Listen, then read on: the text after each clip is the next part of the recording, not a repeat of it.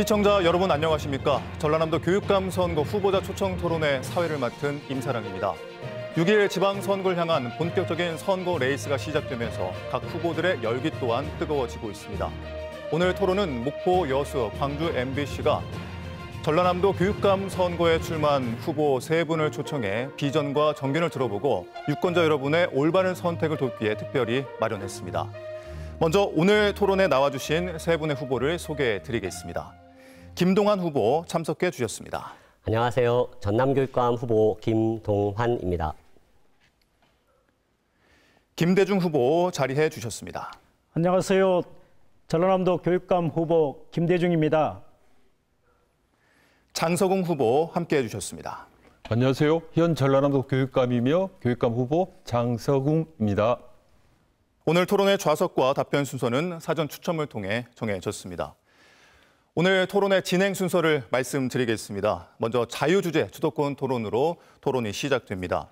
다음은 공통 질문과 자유주제 주도권 토론이 각각 이루어지는데요. 이어서 공통 질문을 한 차례 더 진행한 후에 자유주제 주도권 토론으로 마무리하겠습니다. 본격적인 토론에 앞서 후보들의 모두 발언 들어보겠습니다. 모두 발언 시간은 1분이고요. 후보들은 모두 발언 시간을 반드시 지켜주시기 바랍니다. 사전 추첨 순서에 따라 김동환 후보 먼저 말씀해 주시죠. 안녕하세요. 전남교육감 예비 후보 김동환입니다. 소중한 우리 아이들 행복하고 바르게 성장하기 위해서 우리 학부모님들 헌신적으로 사랑하였고 교직원들 열정적으로 가르쳤습니다. 그러나 전남교육의 지표가 암담합니다. 학력은 바닥이고 청렴도는 낮아져서 전남교육의 명예와 자존심이 무너지고 있습니다. 저는 학부모님들의 사랑과 교직원의 열정에도 불구하고 전남 교육이 무너지고 있는 것은 교육감의 리더십의 부족 때문이라고 생각합니다. 그래서 이제 바꿔야 합니다. 젊고 새로운 인물, 유능한 교육감이 절실히 필요합니다. 제가 김동환이 전남 교육을 젊고 새롭게 바꾸겠습니다. 우리 아이들의 밝은 미래 위에 교육감은 김동환, 저 김동환을 선택해 주시기 바랍니다. 감사합니다. 네, 이번에는 김대중 후보 답변해 주십시오. 1분입니다. 존경하고 사랑하는 도민 여러분, 어, 그리고 교육가족 여러분 안녕하십니까? 전라남도 교육감 후보 예비 후보 김대중입니다. 우리 전남은 대전환 시대를 살면서 심각한 위기를 맞고 있습니다. 그 첫 번째 위기는 직업의 변화입니다. 우리 학생들이 꿈꾸고 있는 직업의 60%가 사라진다고 합니다. 미래는 점점 더 불투명해지고 있습니다. 두 번째 위기는 지역 소멸입니다. 전남의 거의 모든 시군이 인구 감소로 상황이 더 심각해지고 있습니다. 지역 소멸 위기에서 전남을 구하기 위해서는 가장 먼저 교육부터 살려야 합니다. 교육과 정치, 행정을 모두 경험 한 저 김대중이야말로 이 문제를 해결할 수 있습니다. 반드시 해내겠습니다. 감사합니다. 이번에는 장서궁 후보 답변해 주십시오. 1분입니다. 예, 전라남도 교육감이면서 예비 후보입니다. 인사 올립니다. 저는 지난 4년 동안 소중하고 특별한 아이들 그리고 행복할 권리가 있는 아이들의 미래를 위해 최선을 다해 왔습니다. 저는 32년 현장 교사 그리고 교육 개혁 운동, 교육 시민 운동, 참교육 운동 그리고 교육 혁신 운동을 통해서 교육 최고의 전문가라 자부합니다. 정말 감사한 것은 도민들께서 17개 시도 교육감 중에서 업무 수행 지지도 면에서 33개월 일이라고 하는 성원을 보내주셨습니다. 감사드립니다. 시대가 변합니다. 아이들도 변합니다. 당연히 우리 교육 변해야 되고 혁신해야 됩니다. 저희 아이들을, 우리 아이들의 미래를 책임지는 그러한 전남교육, 전남교육감이 되도록 최선을 다하겠습니다. 감사합니다. 네, 각 후보들의 모두 발언 들어봤습니다. 이제 본격적인 토론에 들어가겠습니다. 첫 번째 후보 간 주도권 토론입니다. 주도권을 잡은 후보가 상대 후보에게 질문을 하고 질문을 받은 후보가 답변하면 다시 보충 질문, 보충 답변하는 방식입니다. 토론 과정에서 인신 공격, 상호 비방은 절대 삼가 주시고요. 질문과 답변 시간 반드시 지켜 주시기 바랍니다. 질문 시간은 30초, 답변 시간은 1분이고요. 이어지는 보충 질문과 보충 답변 시간은 각각 30초입니다. 먼저 자유주제 주도권 토론입니다. 사전 추첨 순서에 따라 김대중 후보에게 주도권을 드리겠습니다. 장서공 후보에게 질문해 주시기 바랍니다. 30초입니다. 장서공 후보에게 질문하겠습니다. 지금 전남교육청의 청렴도는 역대 꼴찌로 추락했습니다. 공무원 근평을 조작하고 그래서 감사원에 적발되었고 교육청의 고위 간부가 뇌물로 구속되는 사건도 있었습니다. 그리고 교육감님의 배우자가 관용차를 사적으로 이용했으며 본청 공무원이 선거법 위반으로 고발당하기도 했습니다. 결국 청렴도는 4등급으로 추락하여 열- 역대 꼴찌를 기록했습니다. 총체적인 추락이, 추락의 원인이 무엇이라고 네, 생각하십니까? 시간이 종료됐습니다. 시간을 잘 지켜주시기 바랍니다. 장서공 후보 답변 시간 1분입니다. 예, 예, 전남, 전남 도 교육청의 청렴도는 지속적으로 하락했습니다. 바로 우리 김 후보 교육감, 교육청 비서실장 재직 시죠. 저는 청렴은 자존심이자 우리의 경쟁력이라면서 비리와 부정에 대해서는 무관용하겠다고는 원칙을 밝혀왔습니다. 저부터 솔선해왔습니다. 민주진보 교육감은 당연히 도덕적이어야 됩니다. 제가 보니까요, 교육감이 된 이후 전라남도 청렴도는 지속적으로 상승이었습니다. 그런데 2021년도에 4등급으로 추락했습니다. 그 이유는 바로 우리 후보가 비서실장으로 재직 시 있었던 부정 비리 사건 7건이 2021년도 청렴도 평가에 감점으로 작용됐습니다. 이것이 바로 치명적이었습니다. 그래서 아마 이 사실을 알 텐데 책임을 떠넘기고 꼴찌꼴찌 하면서 우리 전남 교육을 폄훼하고 우리 직원들의 명예를 훼손하는 것이 과연 교육감 되려는 사람이 할 일인가. 발생한 시점은 분명히 네, 시간이 끝났습니다. 시간 엄수해 주시기 바랍니다. 김대중 후보 보충 질문 30초입니다. 예, 나무 탓맛 하는 모습이 너무 안타깝습니다. 아, 김대중 대통령께서는 IMF 부도가 난 국가도 살렸습니다. 전임 다 탓하지 않았습니다. 그런데 전임 교육감 핑계만 대면서 금평 조작, 뇌물, 황제 의전, 검찰 고발 이런 부끄러운 모습에는 전혀 사과하지 않고 있습니다. 지금이라도 교직원들과 도민들께 사과하실 마음이 없으신지 말씀해 주시기 바랍니다. 네, 장서공 후보 보충 답변 해주십시오. 예, 그 팩트는 분명히 밝혀야 됩니다.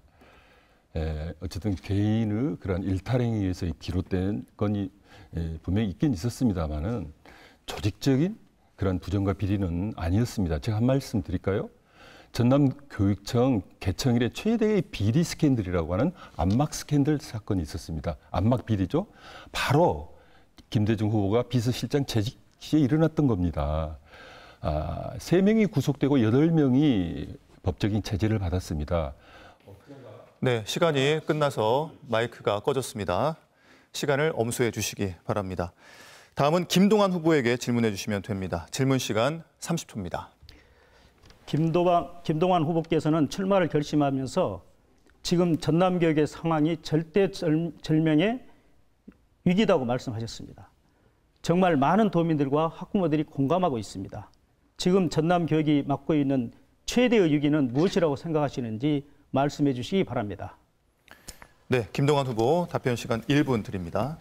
예. 지금 전남 교육이 여러 가지 교육 지표들이 암담한 현실인데 문제는 어, 전남교육청의 잘못된 보도된 어, 보도와 홍보로 많은 도민들과 학부모님들이 이러한 사실을 모른다는 것입니다. 어, 위기를 위기로 인식하지 못하는 상황을 절체절명의 위기라고 보았고요. 그 교육 지표들 중에는 우리 하- 출생 인구가 감소해서 우리가 학생 수가 감소하는 문제도 있지만 학교 교육 경쟁력이 약하고 그래서 많은 아이들이 중고등학교에 진학할 때쯤 어, 수천 명의 아이들이 전남을 떠나고 있다는 것입니다. 어, 찾아오는 전남 교육을 만들어야 되는데 워낙 학교 경쟁력이 낮다 보니까 떠나고 있는 문제가 발생하는 것입니다. 그래서 저는 음, 우리 학력의 문제라든가 인성의 문제라든가 또 학생 수가 급감하는 모든 문제를 조화롭고 균형 잡힌 시각으로 풀어가야 이 문제를 해결할 수 있다. 이렇게 항상 말씀드리고 있습니다. 네, 김대중 후보 보충 질문 30초 드립니다. 김동완 후보께서도 수차례 언론 보도를 통해 전남교육청의 청렴도 하락 문제를 지적하셨습니다. 2018년 2등급이었던 부패 방지 시책 평가는 2021년 4등급으로 추락했고 청렴도도 3등급에서 4등급으로 추락했습니다. 민선 3기 청렴도 추락의 원인이 어디에 있다고 보십니까? 네, 어, 김동완 후보 30초 드립니다. 답변해 주십시오. 모든 조직은 리더의 문제가 큽니다. 제가 언론 보도 내용을 보면서 우리 전남 교육의 명예와 자존심이 무너진다는 표현을 했는데요. 언론 보도 내용에 보면 교육감 관사에 부모부터 손녀까지 4대가 거주하며 관리비를 도교육청의 재정으로 충당하고 있다. 또는 교육감 관사에 스타일러 등 가전제품 구매비만 3,800만 원, 심지어 교육감 개인 핸드폰 사용 요금까지 채- 충당한 사실이 언론 보도 내용을 보면서 참담한 입장을 어, 갖게 된 적이 있습니다. 네, 다음 자유 주제 주도권 토론은 장서궁 후보에게 주도권을 드리겠습니다. 먼저 김동완 후보에게 질문해 주시고요. 30초입니다. 예, 전남 교육의 가장 큰 현안은 그 작은 학교 살리기 문제입니다. 저는 작은 학교 살리기 위해서 농산어촌 유학 프로그램을 도입했습니다. 전 세계가 감탄한 코로나 시대 혁신 교육 정책이라고 평가하고 있습니다. 아, 작년에 서울 학생을 중심으로 해서 82명이 유학 왔습니다. 올해는 거의 4배 가까이 되는 310명이 유학 와서 학교가 살고 지역사회가 활력을 되찾았습니다. 이 부분에 대한 평가를 듣고 싶습니다. 네, 김동완 후보 답변 시간 1분 드립니다.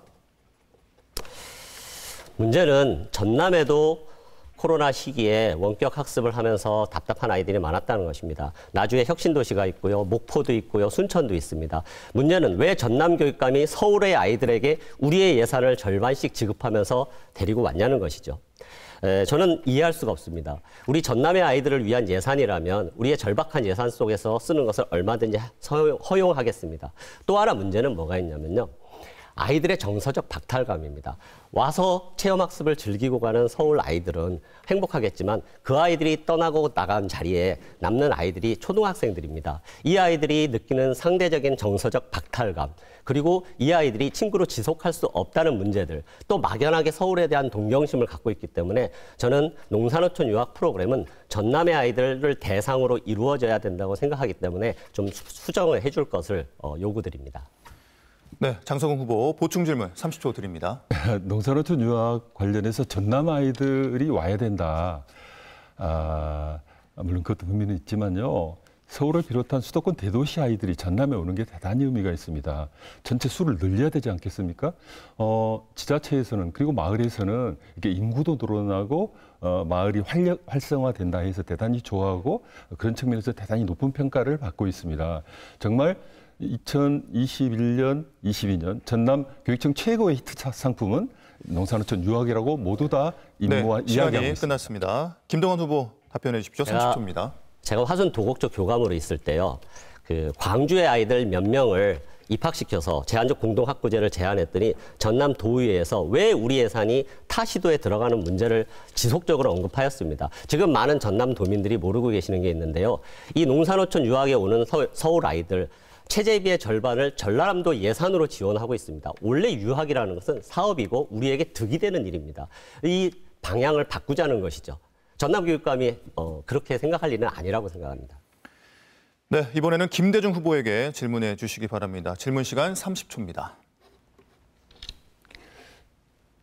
제가- 네, 예, 청렴도 문제 다시 한번 말씀드릴게요. 2021년도 4등급은 김대중 후보 재직 시 발생한 부정 비리 사건이 청렴도에 2021년도 청렴도에 반영돼서 나타난 겁니다. 적반하장도 유분수라고 생각해요. 그리고 아까 말씀드리다 말았는데 우리 도교육청 최대의 비리 스캔들 이걸로 인해서 업자가 8억이라고 하는 부당 이익을 가져가고 7억이라고 하는 로비 자금이 살포됐습니다. 이것에 대해 네, 시간이 종료됐습니다. 김대중 후보 답변 시간 1분 드립니다. 예, 변명과 핑계 나무타만 하는 모습이 너무 안타깝습니다.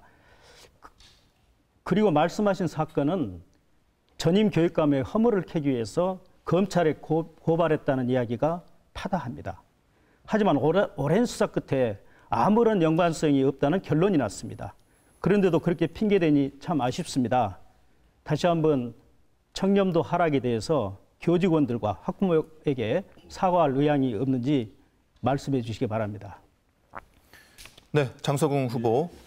저는 교육감이 되시려고 하는 분이 과연 이런 말을 할 수가 있겠는가. 아, 우리 전남교육청 전남교 직원들을 비리 집단으로 매도하는 거거든요. 명예를 훼손하는 겁니다.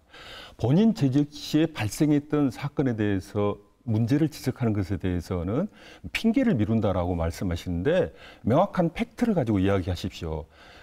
도교육청 사상 최대의 비리 스캔들에 관련돼 있는지 안 돼 있는지 본인은 어떤 입장을 취했고 그 문제에 대한 네, 발언 시간이 종료됐습니다. 김대중 후보 답변해 주십시오. 30초입니다. 여전히 나무탄만 하고 계시는데요. 그러면 전직 교육감 시절의 일을 가지고 그렇게 이야기하시면 지금 교육감 재직 때 일어난 금평 조작, 뇌물, 황제 의전 이런 검찰 고발 등은 어떻게 생각하시는지 그렇다면 출마할 자격이 있으신지 묻고 싶습니다.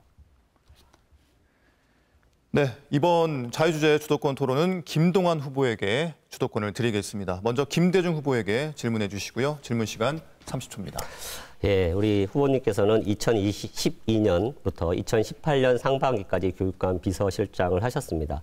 2012년 과거 수능 성적이 저희가 전남이 12위, 13위 하던 성적이 지속적으로 하락하면서 2014년부터 그리고 2016년 전국 17개 시도 중에서 17위 꼴찌를 하고 말았습니다.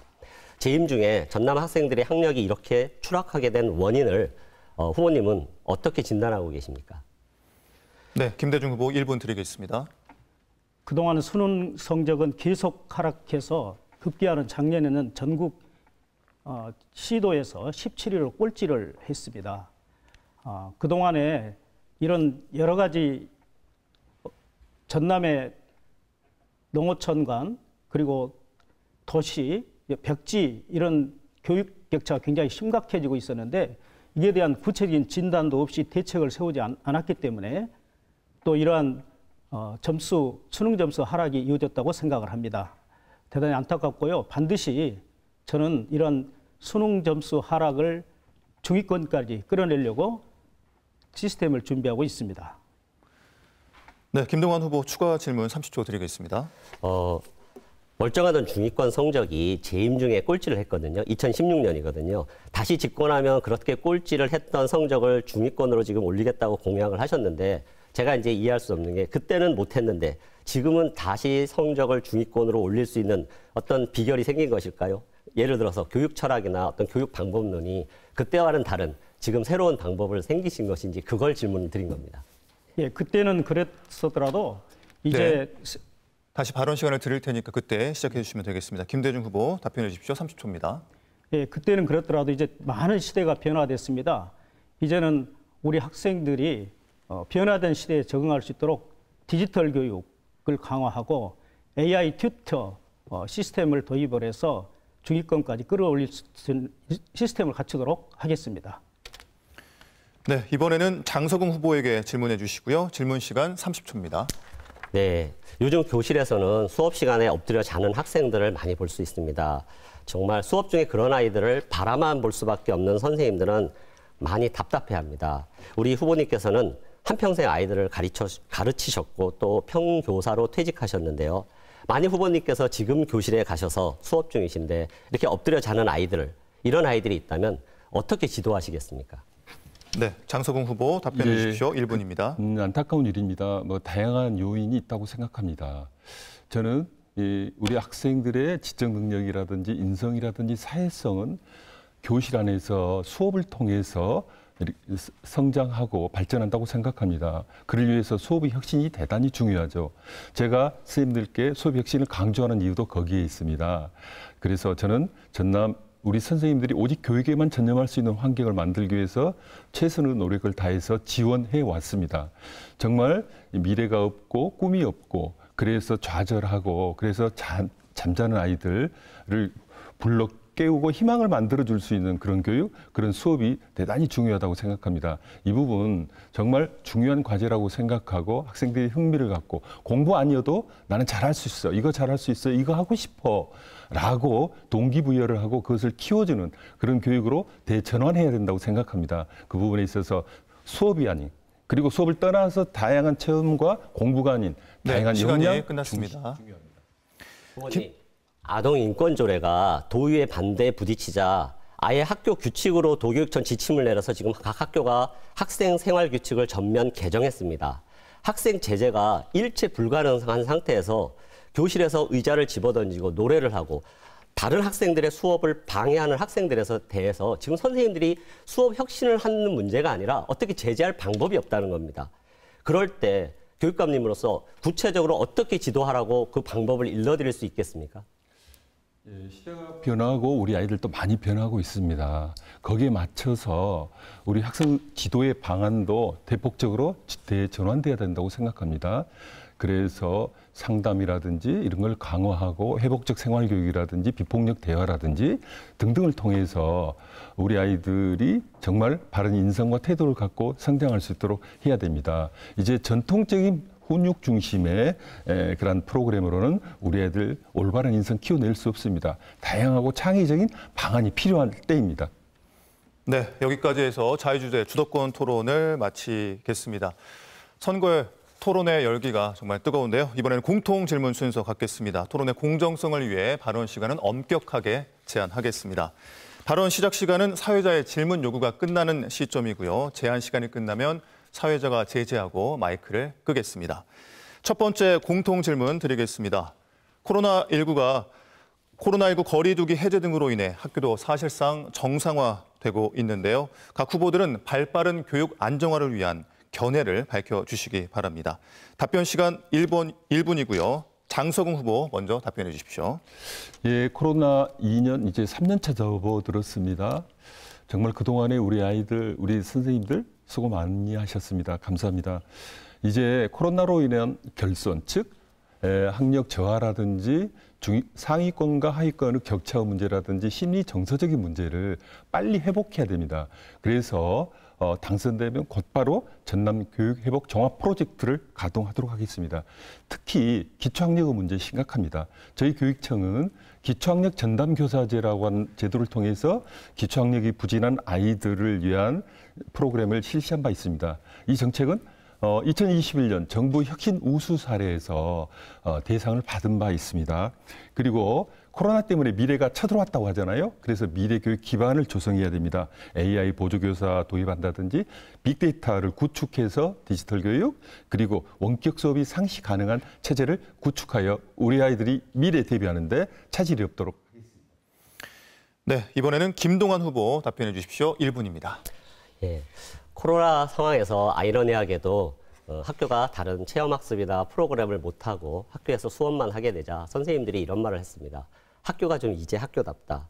사실 어, 우리 학생들의 학력이라든가 학생들의 변화를 이끄는 것은 교사와 학생의 상호작용인 수업이 절대적인 것입니다. 그러나 지금 전남교육은 너무나 많은 외부 프로그램, 현장 체험학습, 예를 들어서 마을학교와 같은 프로그램들이 어, 본질을 흐리고 있습니다. 어, 물론 필요합니다. 중요합니다. 그러나 교육의 본질은 여전히 수업입니다. 저는 그래서 우리 학교가 다시 정상화되고 안정화되려면 어, 교육청은 지원의 역할에 충실하고 전시성 행사나 외부적인 프로그램들로 학교를 제발 좀 괴롭히지 않았으면 좋겠습니다. 우리 선생님들이 오롯이 아이들만 바라보고 수업을 할 수 있는 그런 안정적인 지원과 제도가 되어야 학교가 학교답게 교육의 본질을 회복할 수 있다고 저는 생각합니다. 네, 이번에는 김대중 후보 답변해 주십시오. 1분입니다. 예, 서울교육청 분석 자료에 따르면 코로나 이후 학업 성취도는 중학교와 고등학교가 다른 양상을 보입니다. 중학교에서는 학력 양극화 현상이 일어나고 고등학교에서는 전반적인 학력 저하 현상이 나타났습니다.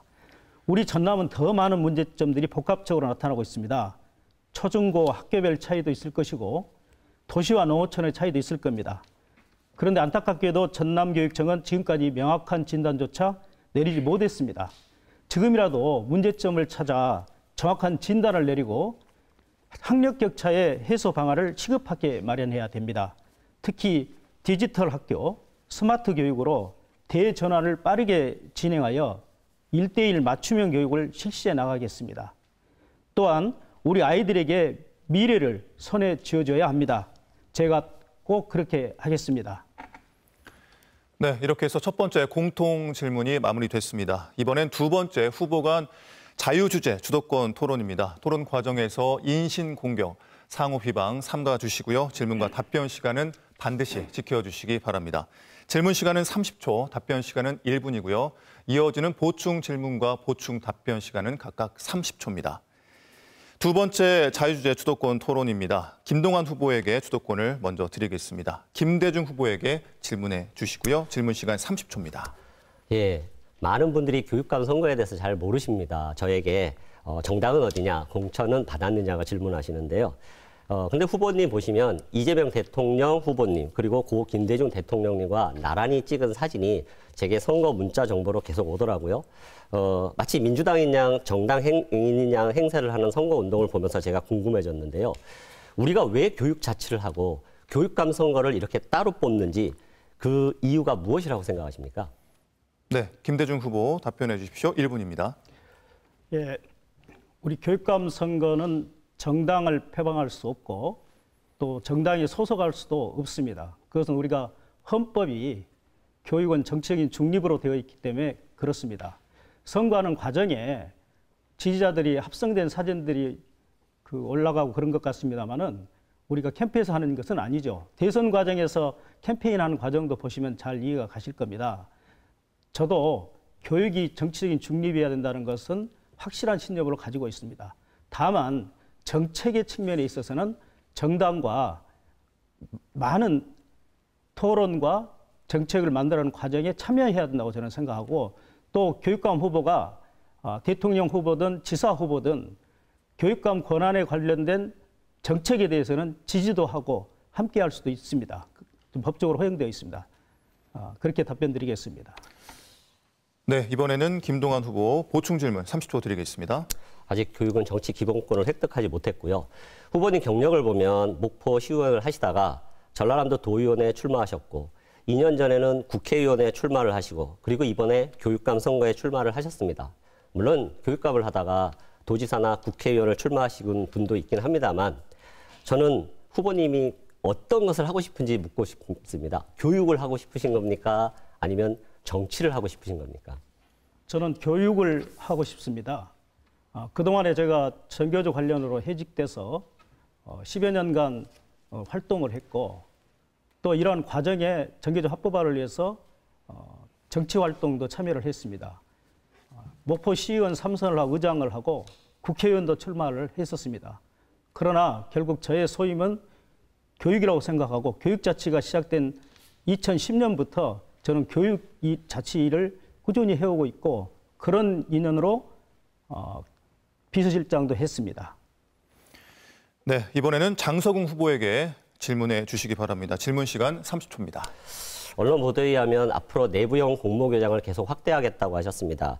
흔히 내부형은 15년 경력이면 교감, 교장 자격 없이 교장에 임용하는 것으로 제가 지칭하겠습니다. 지난 4년간 재임 기간 중에 20명의 교사를 교장으로 임명하셨고요. 그런데 그들 전원이 전교조 소속 교사입니다. 저는 궁금한 게 15년 경력의 교사들은 많은데 왜 내부형에 전교조가 아닌 교사들은 응모하지 않을까? 단 한 명씩 응모할까? 이유가 뭐라고 생각하십니까? 네, 장서궁 후보 답변해 주십시오. 1분입니다. 예, 그 교장 공모제 부분에 대해서 학부형님들의 선호도는 대단히 높습니다. 4년 임기를 보장받고 안정적으로 계획적으로 어, 학교를 변화 발전시킬 수 있기 때문입니다. 그 제도의 일환으로서 자격증 없이 평교사로서 어, 이렇게 교장 공모제에 응해서 어, 교장이 될 수 있는 제도가 바로 내부형 공모제입니다. 아, 이 내부형 공모제에 대한 평가는 분명하게 드러났습니다. 정말 열정 넘치고 교육에 대한 전망과 비전을 갖고 있는 좋은 선생님들이 두 차례 걸친 아주 치밀한 심사를 통해서 최종 교장으로 이제 임용이 되고 그러면서 아주 다양하고 창의적인 교육 활동을 통해서 우리 학생들의 성장 그리고 지역사회와 함께하는 학교 모습을 보여주고 있다라고 생각합니다. 그런 측면에서 내부형 공모제는 대단히 의미 있고 현재 내부형 공모제로 해서 평교사가 교장이 된 분은 사실 에, 전체 한 1%, 한 2% 정도밖에 되지 않습니다. 네, 시간 끝났습니다. 김동완 후보 추가 질문 30초 드리겠습니다. 제 질문은 그렇게 좋은 제도에 왜 수천 명의 교사들 중에서 아무도 응모하지 않고 전교조 소속 교사들만 응모하냐는 겁니다. 지금 그 공모 심사 과정에서 심사위원들과 결탁을 한다더니 각종 부정이 일어났다는 어, 언론 보도로 잡음이 끊이지 않았습니다. 이것은 공정과 정의에 어긋나고요. 물론 한평생 정교제에 몸담으셨고 남다른 애정을 갖고 계신 것은 알지만 교육감으로서 정교조 후배들의 이런 행태에 대해서 어떤 입장을 갖고 계십니까? 네, 장석훈 후보 답변해 주십시오. 30초입니다. 예, 그건 오해이신 것 같은데요. 어, 전교조가 전, 어, 한때는 그 전체 전남 교사들의 절반이 넘은 적도 있었어요. 그 중에서 열정이 넘치는 선생님들이 거기에 응모했던 거고 어, 도교육청 차원에서는 모든 선생님들이 뜻 있는 선생님들이 참여할 수 있도록 이렇게 문호를 개방했기 때문에 특정한 뭐 교원단체 출신 그건 있을 수가 없는 것이고요. 어, 교육부에서 우리 도교육청에 에, 교장 공모제 사례를 조사를 했는데 가장 전국적 모범이다라고까지 평가한 적이 있습니다. 네, 시간이 끝났습니다. 각 후보들께 다시 한번 말씀드리겠습니다. 사회자가 발언권을 드리면 그때 발언을 해주시면 되겠습니다. 원활한 토론을 위해서 협조 부탁드리겠습니다. 이번에는 김대중 후보에게 주도권을 드리겠습니다. 먼저 장석웅 후보에게 질문해 주시고요. 질문 시간 30초입니다. 예, 지난 4년간 전남의 수능 성적은 계속 하락했습니다. 표준 점수 평균은 역대 꼴찌라는 부끄러운 성적표를 받았습니다. 청렴도 역대 꼴찌, 학력 역대, 역대 꼴찌라는 너무나 초라한 성적표입니다. 지난 4년간 우리 아이들을 위한 교육감은 없었습니다. 그런데 그 결과에 대한 정확한 분석이나 사과, 해결 방안도 없이 다시 출마하셔서 너무 안타깝습니다. 어떻게 생각하십니까? 네, 장석웅 후보 답변해 주시고요. 1분입니다. 그 수능 성적 꼴찌라고 하는 것에 대해서도 팩트를 체크하겠습니다. 에, 에, 우리 음, 김 후보께서 재직하던 2018학년도에는 어, 수능 점수 전국 평균이 17이었습니다. 그러나 제가 재직한 후에는 어, 17위보다는 상승했습니다. 학력을 평가하는 다양한 기준이 있는데 수능으로 이렇게 에, 평가하는 것은 적절하지 않습니다. 우리 전남 학생들의 에, 91% 우리 수험생들이 수시로 91%가 수시로 갑니다. 에, 수능으로 어, 대학 가는 아이들은 어, 6% 내외에 불과합니다. 수능에서는 등급이 중요합니다. 제가 예를 들면은요, 서울대 지역균형 선발 같은 경우에 수능 최저 기준을 충족해야 합격이 됩니다. 저희 전국적으로 보면은 최저 등급 이 충족률이 전국 평균은 73.8%인데 전남은 73.2%입니다. 네, 답변 시간 끝났습니다. 김대중 후보 추가 질문 30초 드리겠습니다. 예, 수능 성적이 하락한 것은 팩트고요. 전국 최하위가 맞고. 근데 말씀 중에 진학률이 중요한 것처럼 주장하지만 더 중요한 것은 진학의 질입니다. 지금 대학은 정원을 채우지 못하는 학교도 많다는 걸 잘 알고 계시지 않습니까? 주요 대학 정시 비율은 40%까지 확대하고 있고 교과 전형은 고작 10% 수준입니다. 그런데 전남은 교과 전형을, 전형으로 70% 가까이 지원합니다. 학생부 전형 네, 시간 끝났습니다. 장성훈 후보 답변해 주십시오. 30초입니다. 예, 2021년도 21학년도 4년제 대학 진학률은 71.2%로 역대 최대치입니다. 공무원과 공공기관 합격자 수도 200명에 육박합니다. 지금까지 최대 수준입니다. 이 단순하게 수능 점수로 대학 가는 이 시대는 지났습니다. 4차 산업혁명 시대에 다양한 역량들을 요구하고 있습니다. 저는 수능 점수도 중요하지만 등급이 중요하고 수능 등급에 있어서는 결코 전국 평균에 크게 뒤지지 않는다는 말씀을 드립니다. 네, 답변 시간 끝났습니다. 다음은 김동완 후보에게 질문해 주시고요. 질문 시간 30초입니다. 예, 김동완 후보께서는 기초 기본 학력에 대한 이해가 높을 것으로 생각합니다. 전남교육청이 지난 4년 기초 기본 학력 증진을 위한 노력을 평가하신다면 어떻게 평가하시겠습니까? 네, 김동완 후보 답변 시간 1분 드리겠습니다. 사실 기초학력은 기초학력과 기초학력 증진법에 있는 기초학력이 나누어지는데요. 어, 전남교육청은 가끔 이것을 혼용합니다. 예를 들어서 어, 초등학교 2학년에서 3학년 수준이 말하기, 듣기, 읽기, 쓰기를 하는 것을 기초학력이라고 하는데 사실 이러한 기초학력을 향상시키는 것은 음, 담임 선생님들의 몫입니다. 기초학력 강사 50명 채용했다고 5천 명 초등교사를 대신할 수 있지 않습니다. 그 선생님들이 어떻게 열정을 가지시고 우리 아이들의 학력을 책임져 주셔야 될까? 제가 우리 선생님들께 가끔 그러거든요. 어, 학급당 학생을 20명으로 줄여달라 그러는데 지금 전남의 소규모 학교는 학생 3명, 5명을 데리고 수업하는 분도 있는데 완전 학습이 쉽지 않습니다. 그만큼 학생들의 개별화 교육, 맞춤 교육은 어려운 문제이기 때문에 우리가 기초학력의 기본부터 잘 잡아야 된다고 생각합니다. 저는 그래서 기초학력 어떤 대, 강사보다는 선생님들의 열정을 이끌어낼 수 있는 제도적인 촉구를 요구합니다. 네, 김대중 후보 추가 질문 30초 드리겠습니다. 김동완 후보께서는 교장 공모 직선 제도를 선발 제도를 직선제로 바꾸시겠다 했습니다. 지금 공모 교장 제도에 문제점이 있다고 평가하신 것 같습니다. 지금 공모 교장 제도의 문제점이 무엇이라고 생각하십니까? 네, 김동완 후보 답변해 주세요. 30초입니다. 지금 심사 배점제라고 하는데요. 우리가 대통령이나 이렇게 교육감 선거는 1인 1투표제로 합니다. 그런데 심사 배점제는 심사위원 10명이 각각의 점수를 줄 수 있는 비율이 다릅니다. 한 분은 10점 차이를 줄 수도 있고 한 분은 1점 차이를 줄 수도 있고 이런 제도적인 문제 때문에 세 분과 결탁만 하면 결과를 뒤엎을 수 있습니다. 그렇기 때문에 끊임없이 치열한 경쟁 승진에서 많은 선생님들이 심사위원과 결탁하고 학교를 사전에 공모하고 싶은 의혹이 있기 때문에 제도를 바꿔야 된다는 것입니다. 네, 다음은 장성훈 후보에게 주도권을 드리겠습니다. 먼저 김동완 후보에게 질문해 주시고요. 질문 시간 30초입니다. 예, 기초학력 문제 대단히 중요하죠.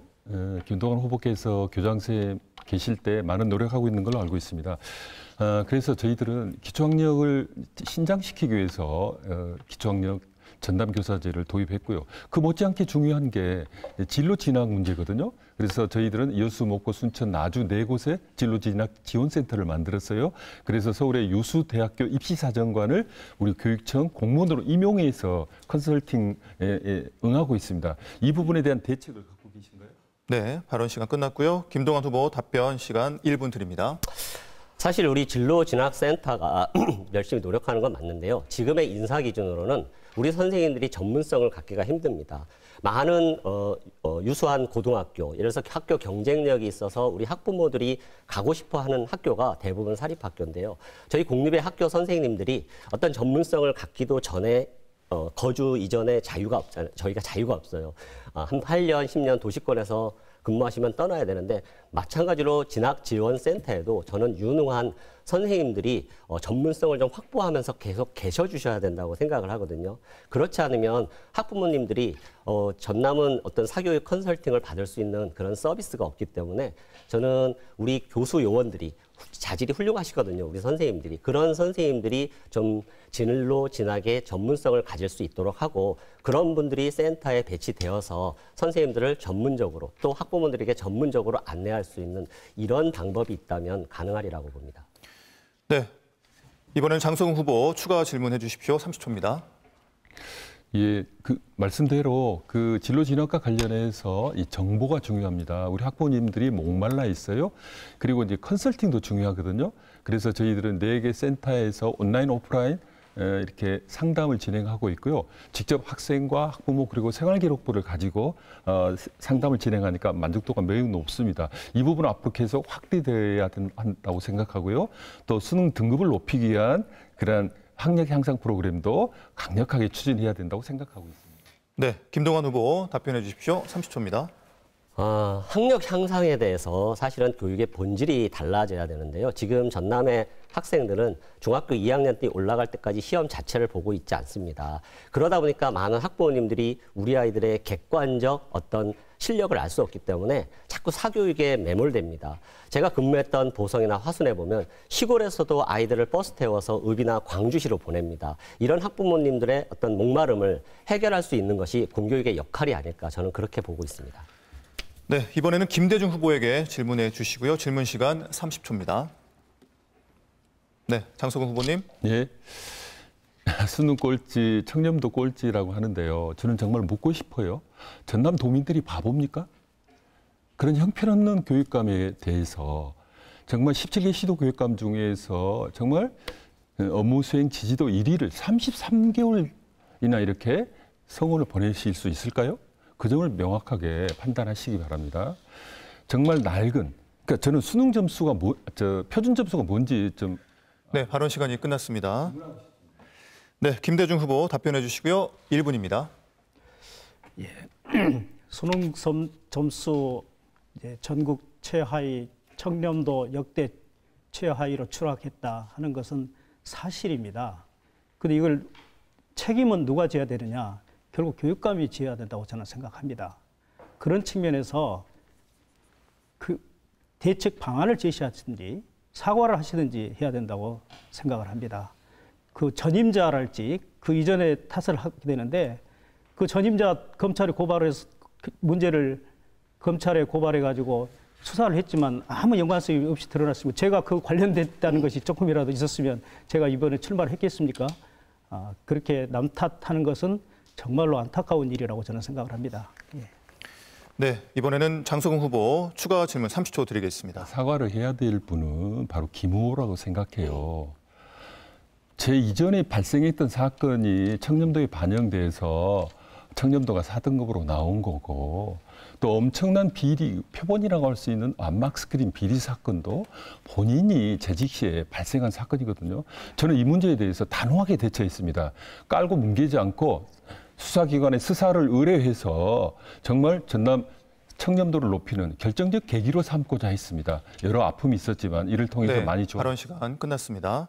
김대중 후보 답변해 주십시오. 30초입니다. 이제 그렇게 말씀하신다면은 지금 교육감 재, 재임 시절에 일어난 공무원의 근평 조작 감사원에 적발돼서 징계를 요청받았죠. 또 교육청의 고위 간부가 뇌물로 구속이 됐습니다. 그리고 교육감님인 배우자가 관용차를 사적으로 이용해서 황제 의전을 받았습니다. 본청 공무원이 선거법 위반으로 고발이 됐습니다. 이 선거법 위반 고발은 과다한 어, 전국 1위, 이 과다한 그 네, 발언 시간 끝났습니다. 각 후보들은 발언 시간을 반드시 지켜주시기 바랍니다. 두 번째 자유주제 주도권 토론은 여기까지 하겠습니다. 여러분께서는 지금 목포 여수 광주 MBC가 공동으로 마련한 전라남도 교육감 선거 후보자 초청 토론회를 함께하고 있습니다. 이번에는 앞선 토론에 이어 공통 질문 순서입니다. 두 번째 공통 질문 진행하겠는데요. 두 번째 공통 질문 드리겠습니다.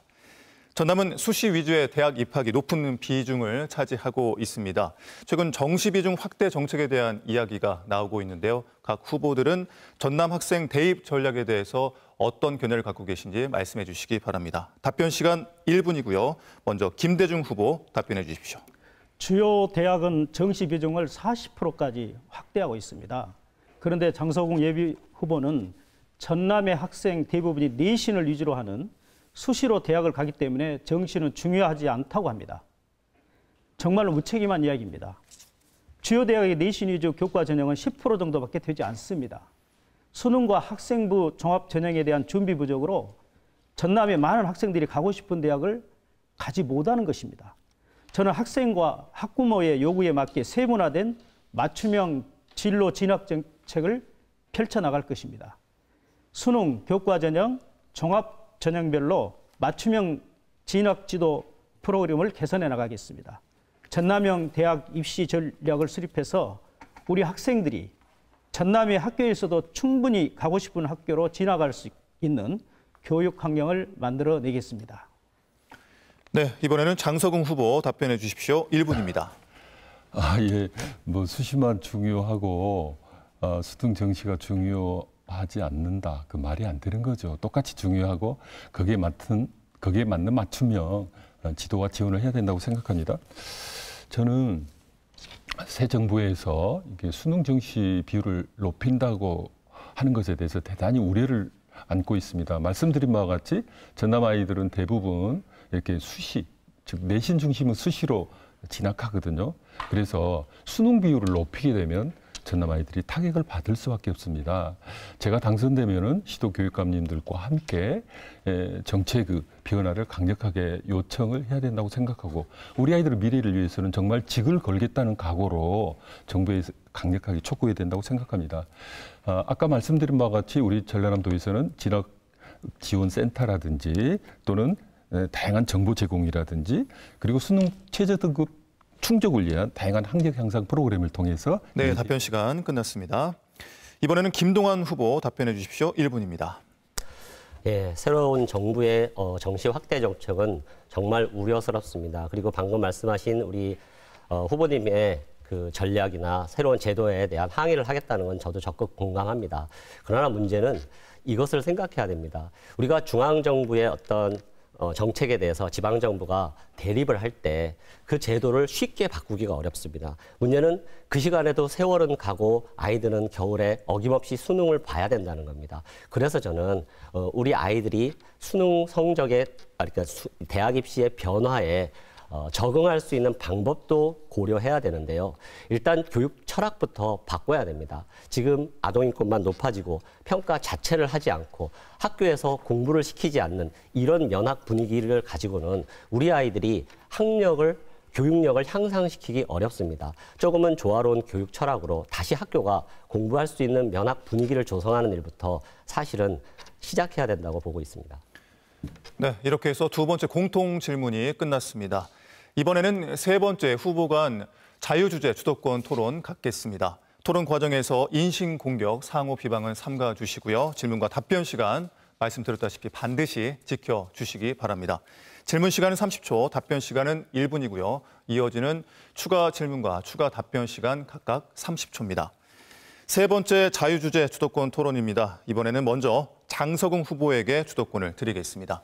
김동완 후보에게 질문해 주시고요. 질문 시간 30초입니다. 예, 김대중 후보께서 이 교육 기본소득 김동완 후보입니다. 아 예. 김동완 후보에게 먼저 그렇습니다. 질문해 예, 주십시오. 예, 김도장 예, 좋습니다. 김동완 후보께 묻겠습니다. 김대중 후보께서 이 교육 기본소득을 말씀하셨어요. 어, 우리 전남 학생들에게 에, 월 20만 원씩 1년 240만 원을 지급하겠다고 하는 거예요. 근데 이 재원은 지방 소멸 대응 기금에서 쓰겠다고 하는 건데 이것은 우리 교육청이 쓰는 거 아니에요. 지자체가 쓰는 거거든요. 지자체 재원이에요. 그리고 이게 어, 우리 학생들 20만 따지면 1년이면 4조, 아, 이제 4,800원. 네, 질문 시간 끝났습니다. 김동완 후보 답변해 주십시오. 1분입니다. 제가 교장으로 근무했을 때 제가 머물렀던 관사가 언제 지어진 줄 아십니까? 무려 1970년입니다.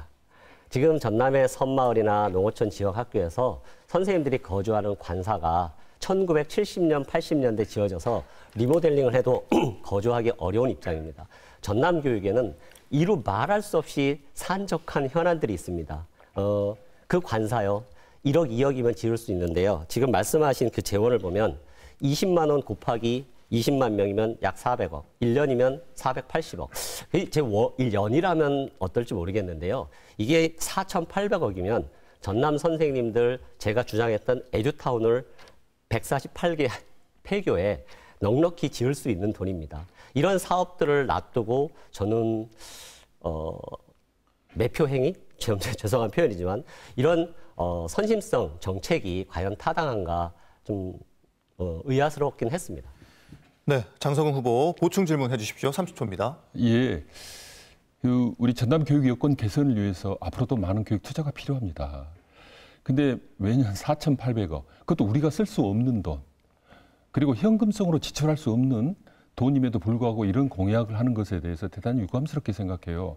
어떤 분들은 이게 어, 전 국민에게 1억 원씩 주겠다는 허경영식 공약 아니냐 이렇게 이제 말씀하시는 분도 계시는데 가장 현실적이고 타당한 재원 그에 입각한 정책이 중요하다고 생각합니다. 네, 김동완 후보 보충 답변 30초 드리겠습니다. 저는 교육감 선거잖아요. 교육감 선거는 교육감 선거답게 좀 점잖게 진행되었으면 좋겠습니다. 교육에 대한 우리 사회의 기대가 있기 때문에 정치를 표방하거나 또 정치인의 흉내를 내지 않았으면 좋겠습니다. 어떤 정책이나 또 후보자의 자질이나 이러한 것들을 저 정확하게 파악할 수 있도록 언론 보도나 많은 것들이 이루어졌으면 좋겠고요. 어, 그러나 이슈는 됐습니다. 어, 타 후보들이 다른 정책을 논의할 정도로 이슈는 됐고 이슈를 끌기 위한 정책에 불과하다고 저는 생각합니다. 네, 김대중 후보에게 질문해 주시기 바랍니다. 질문 시간 30초입니다. 예, 김대중 후보께 묻겠습니다. 김대중 후보께서는 일관되게 전남교육청 수능 꼴찌, 청렴도 꼴찌라고 사실을 왜고 과장하고 우리 전남교육청과 우리 교직원들을 비방하고 명예를 훼손해 왔습니다. 어, 작년부터 보면요, 그이 청렴도 꼴찌, 수능 꼴찌라고 하는 이 불법 현수막을 전남 도내 곳곳에 게시를 했어요. 근데 올 4월에는 에, 전남 교육을 사랑하는 모임으로 또 수백 개가 게시됐어요. 네, 시간이 종료됐습니다. 이 부분에 대해서 본인에 대해서 어떻게 보십니까? 네, 발언 종료해 주시고요. 김대중 후보 답변 1분 드리겠습니다. 예.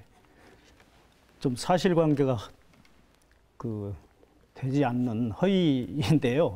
저희들이 그 프랑을 걸지도 않았고 아까 말했던 어 그 교육 단체가 그 프랑을 걸었습니다. 중요한 것은 그 프랑의 내용입니다. 학력 전국 수능 성적 최하위, 청렴, 청렴도 역대 꼴찌 이것에 대한 근거를 프랑이 걸었는데 그, 그, 그 내용을 해명하시고 해야지 그걸 이상하게 오도하고 또 저한테 그걸 더 씌우게 하는 기자회견을 하셨는데 그것은 어, 나중에 그런 문제들이 책임을 져야 될 것이다 이런 말씀을 좀 드립니다. 예. 네, 장석웅 후보 추가 질문 30초 드리겠습니다. 그런데 그 불법 현수막 이 전남 교육을 사랑하는 모임 이름으로 돼 있는데요. 그 대표가 현재 국민의힘 전남 도당 위원장이에요. 그분이 김대중 후보와 똑같은 주장을 담은 현수막을 불법적으로 전남 도내에 게시했어요. 그래서 우리는 국민의힘 전남 도당이 김대중 후보를 지지하지 않느냐. 김대중 후보와 국민의힘이 유착되지 않았느냐라고 하는 합리적 의심을 가질 수밖에 없는 거예요. 그리고 그 어, 모임 그 밴드에 가면 그 관련한 자료가 네, 시간 끝났습니다. 김대중 후보 답변해 주십시오. 30초입니다. 문제의 핵심은 지금 전남교육청의 청렴도와 학력 꼴찌라는 것을 모든 국민이 지적하고 있습니다. 청렴도 꼴찌라고 비판하고 학력도 꼴찌라고 비판하면 모두가 국민의 힘이 되- 됩니까? 이렇게 책임을 회피하기 전에 청렴도 추락의 원인과 학력 추락의 원인 그리고 개선 방안을 내놓으신 것이 더 합당하다고 생각합니다. 네, 다음은 김동환 후보에게 주도권을 드리겠습니다. 먼저 김대중 후보에게 질문해 주시고요. 질문 시간 30초입니다. 예, 후보님께서는 디지털 대전환을 공약으로 하셨습니다. 근데 현재 교육부에서 추진하고 있는 그린 스마트 미래학교가 있습니다. 이 그린 스마트 미래학교가 전남에서 어떻게 적용되고 있는지 아십니까? 가령 그린 스마트 미래학교의 완성 계획, 현재 대상 학교의 선정 기준, 그리고 한 학교당 예산이 얼마나 필요한지 이러한 상황을 구체적으로 알고 계시는지 여쭙고 싶습니다. 네, 김대중 후보 답변 시간 1분 드리겠습니다. 예, 구체적인 예산 상황은 제가 어, 확실하게 이야기할 수는 없지만 그런 사업들이 진행되고 있는지는 잘 알고 이- 있습니다. 아, 제가 디지털 교육을 제일 중요한 미래 교육으로 하겠다고 공약을 제시를 했습니다. 아, 잘 아시겠습니다만은 미래 교육은 디지털 능력을 기르는 것이 가장 중요한 교육이 된다고 생각합니다. 그래서 저는 그 학교마다 지금 학교의 디바이스들이 굉장히 낡아 있습니다, 사양이. 그래서 가장 질, 질 높은 device를 제공하겠다고 했고 또 J-MOOC라는 그런 공약도 제시해서 온라인 그 학습 환경을 구축하겠다는 공약도 내세웠습니다. 저는 맞춤형 디지털 교육으로 전남 교육의 질을 높여야 한다고 생각을 합니다. 네, 김동환 후보 보충 질문해 주십시오. 30초입니다. 아, 그린 스마트 미래학교는요, 50년 이상 건- 된 건물을 재건축하는 내용이 사실은 현실입니다. 한 학교당 50억에서 150억을 들이고 있고요. 그런데 학생 안전을 위해서도 굉장히 시급한 일인데, 공약으로 말씀하신 기본소득 소요 예산 연간 4,800억이면 7년간 진행하겠다는 그린 스마트 미래학교를 단 1년에 해결할 수 있는 돈입니다. 전남교육청이 현, 해- 현안으로 해결하지 못하는 이런 사업들을 제쳐놓고 현금으로 굳이 주는 이유가 무엇일까요? 네, 김대중 후보 답변 30초 안에 해 주십시오. 물론 김동완 후보께서 이야기하는 그런 사업도 어, 우리가 충분히 해내야 된다고 생각을 합니다. 그러나 제가 이야기하는 기본소득은 예산의 문제가 아니라 의지의 문제입니다. 의지가 있으면 충분히 가능하다고 생각합니다. 지금 전남의 지역 소멸 문제는 대한민국에 직면한 최대의 위기, 위기이고 전남이 또 가장 먼저 사라질 도로 이렇게 에, 선정되기도 했습니다. 지역 소멸 대- 자금도 활용하고 지금 국회에서는 지역 소멸을 막기 위한 특별법이 네, 답변 시간이 끝났습니다. 이번에는 장석웅 후보에게 질문해 주시고요. 질문 시간 30초 드리겠습니다. 어, 흔히 다중지능 이론에 의하면 아이들은 다양한 우월적 지능을 가지고 있습니다. 예를 들어서 음악적 지능이 뛰어난 아이들은 우리가 수월성 교육을 하면 특기적성 교육이라고 표현하거든요. 그런데 논리 수학적 지능이 뛰어난 아이들의 수월성 교육을 특권 교육이라고 말할 수 있을까요? 쉽게 말해서 공부를 잘하는 아이들의 재능을 키우는 수월성 교육만 소수 특권 교육이다. 이렇게 표현하는 이유가 무엇일까요? 네, 장석웅 후보 답변해 주십시오. 1분입니다. 저희 아이들은 모두가 다 수월성, 즉 영재성을 갖고 있다고 생각합니다. 교육이라고 하는 것은 이 잠재되어 있는 수월성과 영재성을 빠른 시간 내에 발견할 수 있도록 창의적인 수업과 다양한 체험을 제공하고 그것을 키워내야 된다고 생각합니다. 아, 수월성의 문제하고 보편성의 문제는 이렇게 선택의 문제가 아니라 같이 가야 되는 문제고요. 거기에 맞게끔 그렇지만 기본은 모든 아이들은 수월성을 갖고 있다라고 하는 전제 속에서 그보다 더 특출한 아이들에 대한 지원과 어, 그 보살핌은 더 강화해야 된다는 생각을 에, 갖고 있습니다. 저는 우리 전남 교육에 있어서 가장 핵심적인 과제가 예, 이렇게 취약계층 아이들에 대한 전면적인 지원 그것과 아울러서 다, 수업의 혁신과 다양하고 창의적인 체험 활동을 통해서 에, 그들의 역량을 발휘하고 내가 잘하는 거 좋아하는 거 하고 싶은 것을 이, 끄집어내고 발전시키는 거라고 생각합니다. 수월성의 문제와 보편성의 문제는 결코 네, 답변 시간 끝났습니다. 김동완 후보 추가 질문해 주십시오. 30초입니다. 제 질문을 잘 못 이해하신 것 같은데요. 전북에서 또는 상산고나 서울에서 자사고 문제를 거론할 때 전남은 어, 광양 제철고를 빼놓고는 없애야 되겠다고 논의할 수 있는 자사고 자체도 없었습니다. 제가 우수고 육성을 지원하는 문제를 논의했더니 어, 일부 특정 노조나 단체에서는 그것이 소수 특권 교육이다. 그리고 소속하신 교육회의에서 권리장전에 보면 어, 공부를 잘하는 아이들을 따로 모으는 수월성 교육에 대해서 소수 특권 교육이라고 표현했기 때문에 제가 그 우수고 육성에 대한 방안을 여쭤본 겁니다. 네, 발언 시간 끝났고요. 장성웅 후보 답변해 주십시오. 30초입니다. 이 전남에 있는 그 유수한 음, 입시 명문 사립학교가 있고요. 또 지역에 보면은 또 명문 에, 중심학교, 일반계 고등학교가 있습니다. 그래서 이걸 적극적으로 육성하고 지원하는 것 대단히 중요합니다. 특히 수시가 대세 현재의 상황 속에서 학교에서 다양하고 창의적인 프로그램을 에, 만들고 그것을 학생들이 수행하고 그를 통한 성장 발전의 과정을 생기부에 그대- 그대로 기록해서 어, 대학 전형 자료로 활용되게 하는 것이 대단히 중요하고 네, 발언 시간 끝났습니다. 자, 이번에는 김대중 후보에게 주도권을 드리겠습니다. 먼저 장석웅 후보에게 질문해 주시고요. 질문 시간 30초입니다. 장성궁 예비 후보께서는 단 한 명의 아이도 포기하지 않겠다고 하셨습니다. 그런데 지금 해마다 천여 명의 학생들이 중도 탈락하고 있습니다. 왜 이렇게 많은 학생들이 포기하셨는지 묻고 싶습니다. 네. 장성웅 후보 답변 시간 음. 1분 드리겠습니다. 그 제가 포기한 건 아니고요. 어쨌든 다양한 이유로 이제 중도의 학업을 그만둔 학생들이 많이 있습니다. 그래서 저희들은 에, 지자체하고 연계해서 예, 청소년 복지센터라든지 학교 밖 청소년 지원센터라든지 등등에 대한 지원을 대폭 강화하고 있어요. 저는 정말 하나에도 포기하지 않겠다라고 하는 관점에서 어, 기초생활수급자, 한부모, 조선, 다문화, 장애, 기초학력 미달, 에, 그리고 어, 이 학폭 피해자, 아, 그리고 학교 밖 청소년들에 대한 지원을 정말 대폭 강화했어요. 비인가, 비인가 대안학교에 대한 지원도 마찬가지입니다. 에, 학교가 이렇게 아이들의 행복한 시, 음, 자람터가 돼야 되는데 너무너무 경쟁 경쟁하다 보니까 우리 아이들이 참 스트레스도 받고 어려움이 많습니다.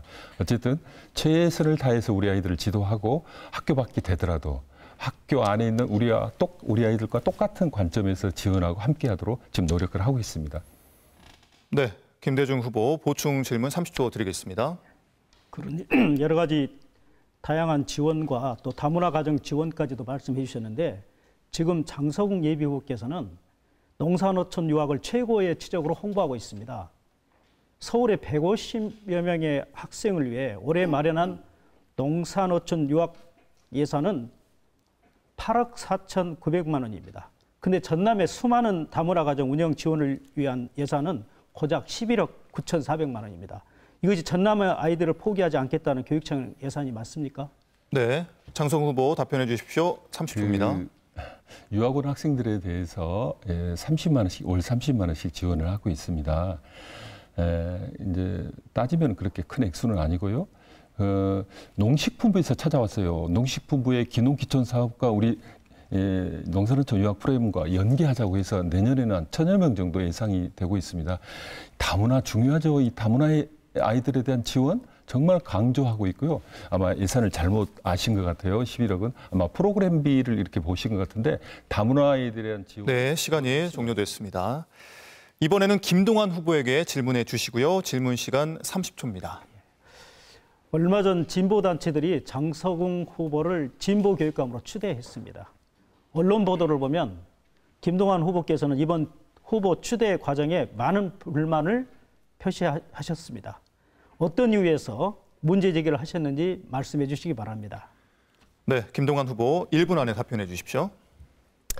저는 모든 선발이나 제도의 공정성에 의문을 제기한 겁니다. 4년 전에 그 비슷한 어, 선거 단체가 있을 때도 마치 500개 단체 7만 뭐 명이라고 했는데 실제 보도에 보면 투표에 참여한 현장 투표는 3천 명이었습니다. 이번 진보 그 교육감 추대 회의는 굉장히 촉박한 일정, 일주일의 토론과 경선과 결차를 모두 추구, 추구 하겠다고 그 공모 당일 저에게 문자로 연락이 왔고 그 과정을 들여다보면서 제가 그 운영위원회 그 추진 상황들을 여쭤봤더니 어, 많은 주요한 단체들, 예를 들어서 학교노조의 위원장님이라든가 공무원노조 위원장은 학교 운영위 그 운영위원회 자체를 참석하지 않았습니다. 어, 이런 졸속적인 어, 교육회의의 구성 이것을 단일 후보 또 추대 이러한 것으로 말하는 것은 정당하지 않다. 자, 이런 입장을 어, 밝혔던 것입니다. 네, 김대중 후보 보충 질문 30초 드리겠습니다. 예, 그 과정이 잘못돼서 선관위에서 단일 후보 명칭을 사용하지 못하도록 지금 조치가 내려져 있는 걸로 알고 있습니다. 어, 김동완 후보께 또 묻겠습니다. 초등학교와 중학교는 교육 과정이 다른데요. 전남교육청은 초등학교와 중학교를 통합해서 초등 초, 중, 중 통합학교를 만들었습니다. 이런 통합학교에서 정상적인 학교 교육 과정이 이루어진다고 생각하시는지 마- 말씀해 주시기 바랍니다. 네, 김동완 후보 답변해 주십시오. 30초입니다. 우리가 초등과 중등으로 학교급을 나누고 교대와 사대로 학 교사 교수들을 나눈 것은 그 교육의 대상인 학생들이 발달 과정이 다르기 때문입니다. 정서적으로 다르고 신체적으로 다릅니다. 저희가 초등학교에서 보면요. 1학년과 6학년이 함께 체육 수업을 하거나 음악 수업을 하는 것이 쉽지 않은 일입니다. 에듀타운과 같이 유기적인 통합은 가능하지만 한 물리적인 공간에 아이들을 놓고 초등학생과 중학생을 함께 가리킨다는 것은 교육의 이론과 기본에 너무 맞지 않는 처사입니다. 네, 여기까지 해서 세 번째 자유주제 주도권 토론을 마치겠습니다. 오늘 준비한 순서가 막바지에 다다르고 있는데요. 토론을 마무리하는 의미에서 후보들의 마무리 발언 들어보겠습니다. 유권자분들에게 하고 싶은 이야기 또는 미처 답변하지 못한 내용이 있다면 말씀해 주시기 바랍니다. 마무리 발언 시간 1분이고요. 먼저 장성웅 후보 듣겠습니다. 예, 지난 4년간 하나도 포기하지 않겠다는 슬로건에 맞게끔 어, 모두가 행복한 교육을 위해서 최선을 다해 왔습니다. 과분하게도 도민들께서는 17개 시도 교육감 중에서 직무수행 지지도 33개월 일이라고 하는 성원을 보내주셨습니다. 근데 이 모든 게 제가 한 게 아니잖아요. 어, 존경하는 우리 교직원들, 학부모님들, 그리고 도민들이 도와주셨기 때문에 함께 이룬 일이라고 생각하고 감사드립니다. 아, 선거운동 과정에서 정말 꼴찌꼴찌 하면서 허위 비방, 그러면서 전남 교육 어, 가족들을 힘들게 하고 그런 부분에 대해서 대단히 유감스럽게 생각합니다. 아, 우리 전남 아이들이 보고 있어요. 정말 정책 선거가 돼야 됩니다. 아, 그리고 본인이 재직 시 일어났던 일을 저에게 덮어씌우는 그런 행태라든지 국민의힘과 의 유착 관계는 명확하게 해명돼야 될 겁니다. 대전환, 대변화의 시대. 우리 전남교육 혁신하고 우리 아이들의 미래를 책임지겠습니다. 장소우. 네, 이번에는 김대중 후보 마무리 발언 듣겠습니다. 1분입니다. 토론은 내내 마음이 무겁습니다. 지난 4년 전남 교육의 성적은 처참했습니다. 청렴도와 수능 성적은 역대 꼴찌로 전락했습니다. 그런데도 장성웅 예비부는 한마디 사과도 없이 변명과 핑계, 나무 탓을 일관하고 있습니다. 오히려 온통 자기 자랑만 하고 있습니다. 작년 기준 전남 도민 4,500여 명이 교육 때문에 전남을 떠났습니다. 지역 소멸을 막기 위해 교육을 반드시 살려야 합니다. 그래서 전남 교육의 대전환이 필요합니다. 학생을 먼저 생각하는 민주교육감, 교육과 정치, 행정을 모두 경험한 저 김대중이 반드시 해내겠습니다. 전남 교육감 김대중을 꼭 선택해 주십시오. 우리 아이들의 미래가 달라집니다. 우리 전남의 미래가 달라집니다. 감사합니다. 네, 이번에는 김동완 후보의 마무리 발언 듣겠습니다. 마찬가지로 제한 시간 1분입니다. 교육은 우리의 미래의 모습을 결정합니다. 여러분, 교육감 선거에 조금만 관심을 기울이시고 잘 비교해 주십시오. 지난 12년간 우리는 한 집권 세력에게 전남 교육을 맡겨왔습니다. 지난 12년의 전남 교육의 변화에 얼마나 만족하십니까? 학부모님들, 우리 아이들 학원비는 좀 줄었습니까? 이제 지난 12년간 집권해온 세력을 계속 16년으로 연장할지 아니면 새로운 인물 김동환으로 바꿔야 할지 현명한 판단을 해 주십시오. 우리 학부모님과 공감할 수 있는 젊고 새로운 인물, 유능한 교육감이 절실히 필요합니다. 저는 여러분과 함께 반드시 추락한 전남교육의 명예를 회복하겠습니다. 전남교육을 젊고 새롭게 바꾸겠습니다. 우리 아이들의 밝은 미래를 위해서 교육감은 김동완, 김동완을 꼭 선택해 주시기 바랍니다. 감사합니다. 네, 각 후보들의 마무리 발언을 끝으로 오늘 토론이 마무리돼 가고 있습니다. 오늘 토론에 적극적으로 협조해 주신 각 후보들께 깊은 감사의 말씀 드리겠습니다. 네, 시청자 여러분, 오늘 토론 어떻게 보셨습니까? 우리의 전남 교육의 미래를 이끌어 나갈 적임자가 누가 될지 유권자 여러분의 현명한 선택에 도움이 됐길 바랍니다. 이상으로 목포, 여수, 광주 MBC가 공동으로 마련한 전라남도 교육감 선거 후보자 초청 토론회를 모두 마치겠습니다. 함께해 주신 여러분 고맙습니다.